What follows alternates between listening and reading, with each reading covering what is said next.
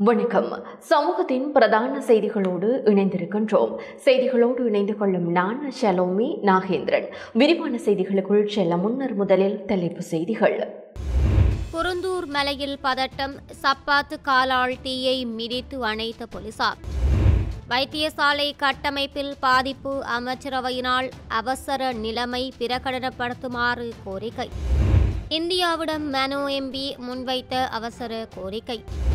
அரச உத்தியோகத்தர்களுக்கு சம்பளம் இன்றி விடுமுறை அமைச்சரவை அங்கீகாரம். விசேட தேவையுடைய மாணவர்களும் ஏனைய மாணவர்களுடன் கல்வி கற்கலாம் கல்வி அமைச்சு அறிவிப்பு. பொறுப்பானவர்களின் பொறுப்பற்ற தனத்தினால் நெடுந்தீவு செல்லவிருந்த பயணிகள் பாதிப்பு. விபச்சார விடுதியில் சிக்கி அறுபத்தி ஏழு வயதுடையவர் உட்பட மூவர் போலீசார் அதிரடி.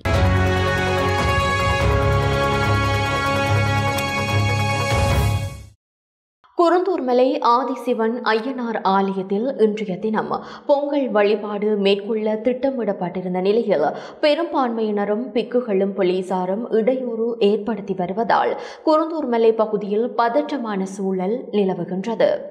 குருந்தூர் மலையில் பொங்கலுக்கான ஏற்பாடுகள் மேற்கொள்ளப்பட்ட போது போலீசார் சப்பாத்து காலால் தீயை மிதித்து அணைத்துள்ளனர். பொங்கல் விழாவிற்கு அனுமதி கோரி ஏற்பாட்டாளர்கள் நேற்று முல்லைத்தீவு மாவட்ட நீதிமன்றத்தில் மனு தாக்கல் செய்தனர். நீதிமன்றம் அதற்கு அனுமதி அளித்திருந்தது. இன்று காலையில் பொங்கல் விழாவிற்கான தமிழ் மக்கள் சென்றபோது அங்கு பெரும்பான்மையினர் பலருடன் பௌத்த பிக்குகளும் குவிந்திருந்தனர். அங்கு தீமூட்டி பொங்கல் செய்ய முடியாது என பெரும்பான்மையினர் மிரட்டல் விடுத்தனர். இதனால் அங்கு பதட்டமான சூழல் ஏற்பட்டது. முல்லைத்தீவு நீதிமன்றத்தின் அனுமதியுடனேயே பொங்கல் வழிபாட்டிற்கு வந்துள்ளதாக தமிழ் மக்கள் தெரிவித்த போதும் அதனை அவர்கள் கணக்கில் எடுக்கவில்லை. இதனையடுத்து தொல்பொருள் திணைக்களத்தினரை நாடிய தமிழ் தரப்பினர் நீதிமன்ற அனுமதிப்படி பொங்கல் மேற்கொள்ள அனுமதிக்கும்படி கோரிக்கை விடுத்தனர். நிலத்தில் தீ மூட்டாமல் தகரம் வைத்து அதன் மேல் கல் வைத்து தீ மூட்டுமாறு தொல்பொருள் திணைக்களத்தினர் அறிவித்தனர். தொல்பொருள் திணைக்களத்தினரின் அறிவுறுத்தலின்படி தகரத்தின் மீது பொங்கல் மேற்கொள்ள ஏற்பாடு செய்யப்பட்டது. தீ மூட்ட தயாரான போது முல்லைத்தீவு போலீசார் பொங்கலுக்கு தடையை ஏற்படுத்தினர் சப்பாத்து காலால் தீயை மிதித்து அணைத்தனர் இதையடுத்து அங்கு பதற்றமான நிலைமை ஏற்பட்டுள்ள நிலையில் போலீசார் விசேட அதிரடிப்படையினர் அங்கு குவிக்கப்பட்டுள்ளனர் සිකී නම් වූ බුදුරජාණන් වහන්සේ දෙසා සම්බුද්ධ පූජාව සිද්ධ කරමු. සිකී නාම සම්බුද්ධෝ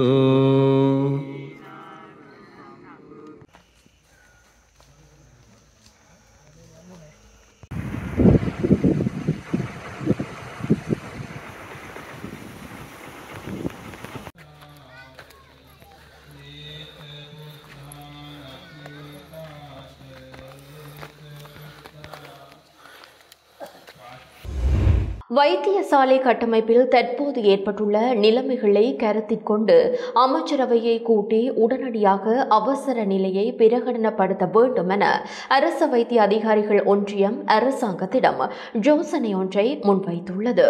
இன்று இடம்பெற்ற ஊடக சந்திப்பில் அந்த ஒன்றியத்தின் தலைவரான வைத்தியர் ருஜான் பெல்லன் இந்த யோசனையை முன்வைத்துள்ளார். கெனியூலா எனப்படும் ஊசி மருந்துகள் ஏற்றுவதற்கு பயன்படுத்தப்படும் உபகரணம் ஒன்றின் பாகம் விஷமானதால் ஏற்பட்ட தாக்க நிலையால் பாணாம்துறை வைத்தியசாலையில் சிகிச்சை பெற்ற மருந்து கட்டுப்பாட்டு அதிகார சபையின் முகாமைத்துவ உதவியாளர் ஒருவர் மரணித்த சம்பவம் பதிவாகியுள்ளது. முப்பத்தி ஒரு வயதான நபரே குறித்த சம்பவத்தில் உயிரிழந்துள்ளார். கடந்த சில தினங்களாக மருந்துகள் மற்றும் மருத்துவ உபகரணங்கள் தொடர்பில் ஏற்ப ஏற்பட்டுள்ள பிரச்சினைக்குரிய நிலையால் நாட்டின் சில வைத்தியசாலைகளில் சில மரணங்கள் பதிவாகின்றன. கழுபோவில போதனா வைத்தியசாலையில் கண் சத்திர சிகிச்சைக்காக அனுமதிக்கப்பட்டு எழுபத்தி இரண்டு வயதான பெண்ணொருவர் சத்திர சிகிச்சைக்கு முரணான சிகிச்சைகளின் போது சந்தேகத்திற்கு இடமான முறையில் உயிரிழந்ததாக உறவினர்கள் குற்றம் சுமத்துகின்றனர். இதற்கு முன்னர் பேராதனை வைத்தியசாலையில் வயிற்று வலிக்கு சிகிச்சை பெறுவதற்காக அனுமதிக்கப்பட்ட இருபத்தி ஒரு வயதான யுவதியொருவர் உயிரிழந்துள்ளார். வைத்தியசாலையில் வழங்கப்பட்ட தடுப்பூசி காரணமாகவே அவர் மரணித்ததாக குறித்த யுவதியின் பெற்றோர் குற்றம் சுமத்தியுள்ளனர். அதே நேரம் தேசிய கண் வைத்தியசாலையின் வெண்படலத்தை நீக்குவதற்கான சத்திர சிகிச்சைக்கு உட்படுத்தப்பட்ட நோயாளருக்கு மருந்து வழங்கப்பட்டதை அடுத்து அவருக்கு பார்வை குறைபாடு ஏற்பட்டுள்ளதாக எமது செய்தி சேவைக்கு முன்னதாக தகவல் கிடைத்திருந்தது. இந்த சம்பவங்கள் தொடர்பிலான விசாரணைகளுக்கு சுகாதார அமைச்சர் பிரத்யேகமான பிரிவு ஒன்று நிறுவப்பட வேண்டும் என வைத்திய மற்றும் சிவில் உரிமைகள் தொடர்பான தொழிற்சங்க சம்மேளனத்தின் தலைவரான வைத்தியர் சமல் சஞ்சீவ தெரிவித்துள்ளார். மலையகத்தில் ஆசிரியர் பயிற்சி கல்லூரி தாதியர் கல்லூரி மற்றும் பல்கலைக்கழக கல்லூரி அமைய இந்தியா உதவிட வேண்டும் என தமிழ் முற்போக்கு கூட்டணியின் தலைவர் மனு கணேசன் கோரியுள்ளார். இது தொடர்பில் அவர் இன்று அறிக்கை ஒன்றினை வெளியிட்டுள்ளார். அந்த அறிக்கையில் மனோ கணேசன் எம்பி மேலும் தெரிவிக்கையில் கொழும்பு அவிசாவளை முதல் நுவரேலியா வரை நாடெங்கும் பரந்து வாழும் இலங்கை வாழ் இந்திய வம்சாவளி மலையக தமிழர்களின் கல்வி உயர்கல்வி மற்றும் தொழில்நுட்ப பயிற்சி ஆகியவை தொடர்பில் இந்திய மத்திய அரசு உதவிட உத்தரவாதம் தர வேண்டும். மலையகம் இருநூறு நினைவுபடுத்தல் தொடர்பில் இந்தியாவின் பங்களிப்பு இந்த அடிப்படைகளில் அமைய வேண்டும். இவ்வருட ஆரம்பத்திலேயே நாம் இந்திய தூதுவர் கோபால் பால்க்லேயிடம் மலையகம் இருநூறு நினைவுறுத்தல் நிகழ்வுகள் உரையாடி தொடர்பில் எழுத்து மூலம் கோரிக்கை விடுத்துள்ளோம். இலங்கை வந்து சென்ற இந்திய வெளிவிவகார அமைச்சர் ஜெய்சங்கரிடமும் உரையாடியுள்ளோம். இந்த நிலையில் அடுத்த வாரம் இந்தியா செல்லும் ஜனாதிபதி ரணில் விக்ரமசிங்கவிடம் இவை தொடர்பில் இந்திய பிரதமர் நரேந்திர மோடி நல்லெண்ண உத்தரவாதங்கள் அளிப்பார் என நாம் நம்புகின்றோம். கல்வி மற்றும் சமூக அபிவிருத்தி தொடர்பில் இந்திய மத்திய அரசை நாம் நம்பியுள்ளோம். குறிப்பாக நாடெங்கும் பறந்து வாழும் இந்திய வம்சாவளி மலையக தமிழர் பிள்ளைகளின் பாடசாலைகளில் விஞ்ஞானம் கணிதம் ஆங்கிலம் தொழில்நுட்பம் ஆகிய பாடங்களுக்கான ஆசிரியர்கள் இல்லை. இந்த பாடங்களை கற்பிக்கும் ஆசிரியர்களை பயிற்றுவிக்க விசேட வேலை திட்டம் தேவை. அதேபோல் தேயிலை ரப்பர் மலைகளில் அல்லலுறும் எங்கள் பெண்களின் வெளிநாட்டு உள்நாட்டு வேலை வாய்ப்புகளை உறுதிப்படுத்த தாதியர் பயிற்சி கல்லூரி அவசியம். உயர்கல்வி மற்றும் தொழில்நுட்ப கல்வியை அடிப்படையாக கொண்டு ஒரு முதற்கட்ட பல்கலைக்கழக கல்லூரி ஆரம்பிக்கப்பட வேண்டும். இவை அனைத்தும் இந்திய வம்சாவளி மலையக தமிழர்களுக்கான விசேட சமூக அபிவிருத்தி திட்டங்களாக முன்னெடுக்கப்பட வேண்டும். மத்திய மேல் சப்ரஹமுவ ஊவா தென் மாகாணங்களில் வாழும் தமது மக்கள் தொடர்பில் தமக்கு தார்மீக கடப்பாட்டை இந்திய மத்திய அரசு நிறைவேற்றும் என நாம் நம்புகின்றோம். அதேபோல இலங்கையில் மலையக தமிழரது தேசிய அரசியல் அபிலாஷை கோரிக்கைகள் தொடர்பில் நாம் உள்நாட்டில் இலங்கை அரசுடன் பேசுவோம். அதிகாரபூர்வ அரசு தரப்பு பேச்சு குழுவை முறைப்படி அமைத்து அத்தகைய பேச்சுக்களை விரைவில் ஆரம்பிக்க இருப்பதாக ஜனாதிபதி ரணில் விக்ரமசிங்க எம்மிடம் உறுதியளித்துள்ளார். அந்த உறுதிமொழியை அவர் நிறைவேற்றுவார் என நாம் நம்புகின்றோம் என்று குறிப்பிடப்பட்டுள்ளது. அரச ஊழியர்களுக்கு சம்பளமின்றி விடுமுறை எடுக்கும் முறைமையை பொது நிர்வாக அமைச்சு அறிமுகம் செய்துள்ளது. இது தொடர்பில் சுற்றறிக்கையை பொது நிர்வாக உள்நாட்டு அலுவல்கள் மாகாண சபைகள் மற்றும் உள்ளூராட்சி அமைச்சு வெளியிட்டுள்ளது. அதற்கமைய உரிய விடுமுறை எடுக்கும் அரசு ஊழியர்களுக்கு வெளிநாடு செல்ல அல்லது இலங்கையில் தங்க வாய்ப்பு கிடைக்கும். அந்த விடுமுறையை எடுக்கும் போது அவர்களின் வயது மூப்பு அல்லது ஓய்வூதியத்திற்கு எந்த தடையும் இருக்காது என போலீஸ் நிர்வாக அமைச்சு குறிப்பிட்டுள்ளது. விசேட தேவையுடைய மாணவர்களையும் அரச பாடசாலைகளில் சாதாரண வகுப்புகளில் இணைத்துக் கொள்வதற்கு அரசாங்கம் நடவடிக்கை மேற்கொண்டுள்ளதாக கல்வி அமைச்சின் மேலதிக செயலாளர் நீலமணி மெலவி ஆராய்ச்சி தெரிவிக்கின்றார்.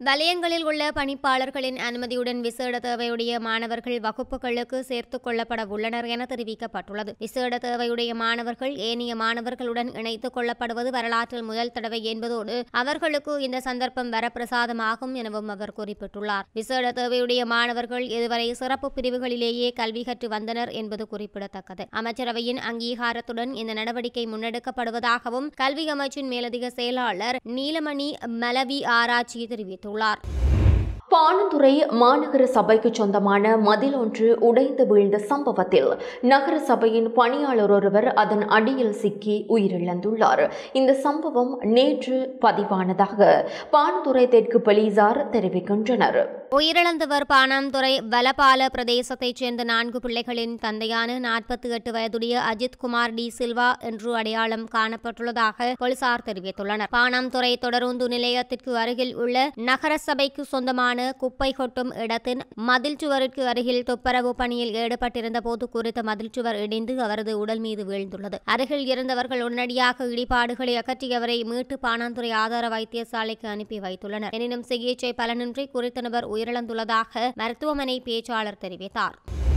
ஐஸ் போதைப் பொருளுக்கு அடிமையான ராணுவ போலீஸ் படையின் சிப்பாய் ஒருவர் கிருளப்பனை பகுதியில் வைத்து கைது செய்யப்பட்டுள்ளதாக போலீசார் தெரிவிக்கின்றனர். பொல்ஹின்கொடு ராணுவ போலீஸ் பிரிவில் கடமையாற்றும் முப்பத்தோரு வயதுடைய ராணுவ போலீஸ் சிப்பாய் ஒருவரே இவ்வாறு கைது செய்யப்பட்டுள்ளதாக போலீசார் தெரிவித்துள்ளனர். சந்தேக நபரிடம் இருந்து இருநூற்று இருபது மில்லிகிராம் ஐஸ் போதைப் பொருள் கைப்பற்றப்பட்டுள்ளது. நெடுந்தீவின் பிரதான போக்குவரத்து மார்க்கமான வடதாரகை பயணிகள் படகு நேர ஒழுங்கு இன்றைய தினம் திடீரென மாற்றப்பட்டதால் பொதுமக்கள் பலரும் சிரமத்தை எதிர்நோக்கியிருந்தனர். நடந்தீவு பிரதேச அபிவிருத்தி குழு கூட்டம் இன்று வெள்ளிக்கிழமை நெடுந்தீவு பிரதேச செயலகத்தில் இடம்பெறுகின்ற நிலையில் கூட்டத்தில் பங்கேற்பவர்களின் வசதிக்கு ஏற்ப வடதாரகை பொது போக்குவரத்து நேர ஒழுங்கு மாற்றப்பட்டமையால் நெடுந்தீவிற்கு செல்வதற்கான வழமையான நேரத்திற்கு குறிகாட்டுவான் வந்த பொதுமக்கள் பலரும் பாதிப்படைந்தனர். இதன்போது இதன்போது நெடுந்தீவிற்கு செல்லவிருந்த மக்கள் வயோதிபர்கள் வெளிநாட்டு சுற்றுலா பயணிகள் என பலரும் பாதிப்படைந்து விசனம் தெரிவித்தனர். அரசு அதிகாரிகள் நாடாளுமன்ற உறுப்பினர் ஸ்ரீதரன் என பலரும் வடதாரகை படகில் பயணத்தை மேற்கொண்ட நிலையில் கடற்தொழில் அமைச்சர் டக்ளஸ் தேவானந்தா கடற்படையினரின் விசேட படகில் பயணித்தார். வழமையான பயண நேரமான எட்டு மணிக்கு வடதாரகை பயணிகள் படகில் பயணிக்க வந்தவர்கள் நீண்ட நேரம் காத்திருந்ததை அவதானிக்க முடிந்தது. இதன்போது அங்கு ஊடகங்களுக்கு கருத்து தெரிவித்த முன்னாள் பிரதேச சபை உறுப்பினர் ஒருவர் பொது மக்களை நடுத்தெருவில் அந்தரிக்க விட்டுவிட்டு யாருக்கு இவர்கள் கூட்டம் நடத்துகின்றார்கள் என கேள்வி எழுப்பினார். சுற்றுலா தலமான நெடுந்தீவு செல்வதற்காக வந்த நிலையில் போக்குவரத்து இல்லாமை கவலை அளிப்பதாக வெளிநாட்டு சுற்றுலா பயணிகள் சிலர் கருத்து தெரிவித்தனர். பொறுப்பானவர்களின் பொறுப்பற்ற தனத்தினால் வயோதிபர்கள் முதியவர்கள் என பலரும் ஏமாற்றத்துடன் காத்திருந்தனர். மசாஜ் நிலையம் என்ற போர்வையில் இயங்கிய விபசார விடுதி சுற்றி வளைக்கப்பட்டு மூன்று சந்தேக நபர்கள் கைது செய்யப்பட்டுள்ளனர். கல்கிசை பகுதியில் உள்ள இந்த இடத்தில் நேற்று மாலை கல்கிசை போலீசார் சோதனை நடத்திய போதே இவர்கள் கைது செய்யப்பட்டுள்ளனர். கைது செய்யப்பட்ட சந்தேக நபர்கள் இருபத்தி ஏழு நாற்பத்தி ஒன்று மற்றும் அறுபத்தி ஏழு வயதுடைய பயாகலு நொச்சியாகம மற்றும் கடவத்தை பிரதேசத்தைச் சேர்ந்தவர்களாவார் இவர்களை நீதிமன்றத்தில் ஆஜர்படுத்த போலீசார் நடவடிக்கை மேற்கொண்டுள்ளனர்.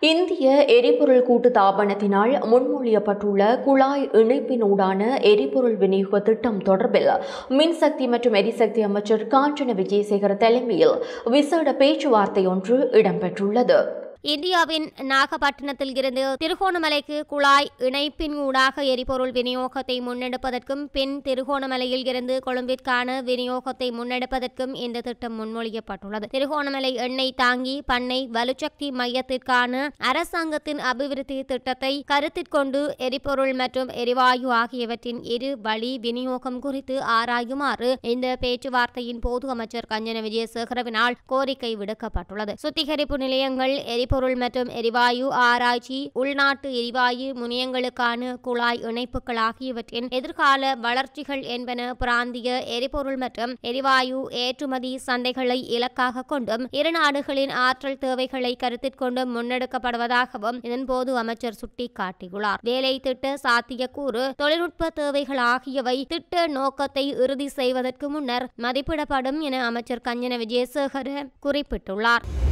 வண்டாரவள்ளி பிரதேசத்தில் பாடசாலைக்கு சென்று கொண்டிருந்த பத்து வயது சிறுமியை கடத்தும் முயற்சி ஒன்று முறியடிக்கப்பட்டுள்ளது. பண்டாரவளை வனசிரிகம மகுல்லெல்ல பகுதியைச் சேர்ந்த சிறுமியொருவர் நேற்று காலை பாடசாலைக்கு செல்வதற்காக வீட்டில் இருந்து புறப்பட்டுள்ளார். அவர் மகுல்லெல்ல கல்லூரியில் ஆறாம் ஆண்டில் கல்வி கற்று வருகின்றார். இந்த சிறுமி வளமை போல் பாடசாலைக்கு சென்று கொண்டிருந்தார். வீதியில் பயணித்துக் கொண்டிருந்த போது முச்சக்கர வண்டியில் வந்த இருவர் தன்னை முச்சக்கர வண்டிக்கு அழைத்து சென்றதாக தெரிவித்துள்ளார். குறித்த இருவரும் தன்னை முச்சக்கர வண்டியில் ஏற்றி பின்னர் குடிக்க ஏதோ கொடுத்ததாக கடத்தப்பட்ட சிறுமி போலீசாரிடம் தெரிவித்துள்ளார். ஆனால் அவை கசப்பாக இருந்ததால் ஆனால் அதனை துப்பிவிட்டு அங்கிருந்து தப்பியோடி பாடசாலைக்கு சென்றுள்ளார். பாடசாலைக்கு சென்று வகுப்பறையில் அழுது கொண்டிருந்த போது வகுப்பாசிரியர் சம்பவம் தொடர்பில் விசாரித்துள்ளார். குறித்த சிறுமியை பண்டாரவளை மாவட்ட வைத்தியசாலையில் அனுமதிக்க அதிபர் மற்றும் ஆசிரியர்கள் நடவடிக்கை எடுத்துள்ளனர். சம்பவம் தொடர்பான விசாரணைகளை பண்டாரவளை போலீஸ் மகளிர் பணியகம் தற்போது மேற்கொண்டு வருவதாக போலீசார் தெரிவித்தனர். ஐம்பது கிலோகிராம் எடையுடைய எம்ஓபி உர மூட்டையின் விலை குறைக்கப்பட உள்ளது எதற்கமைய நாளை முதல் அமலாகும் வகையில் எம்ஓபி உரம் ஆயிரம் ரூபாவால் குறைக்கப்படவுள்ளது. பதினைந்தாயிரம் ரூபாவிற்கு விற்பனை செய்யப்படும் ஐம்பது கிலோகிராம் உர மூட்டை நாளை முதல் பதினான்காயிரம் ரூபாவிற்கு விற்பனை செய்யப்படவுள்ளது. இத்துடன் சமூகத்தின் பிரதான செய்திகள் நிறைவு பெறுகின்றன. தொடர்ந்தும் சமூகத்தோடு இணைந்திருங்கள். வணக்கம். இது போன்ற செய்திகளை தெரிந்து கொள்ள சமூகம் நியூஸ் சேனலை சப்ஸ்கிரைப் செய்து அருகில் உள்ள பெல் பட்டனை கிளிக் செய்யுங்கள். மேலும் இது போன்ற செய்திகளை உடனுக்குடன் தெரிந்து கொள்ள சமூக மீடியா டாட் காம் என்ற இணையதளத்தின் வாயிலாகவும் எங்களுடன் இணைந்திருங்கள்.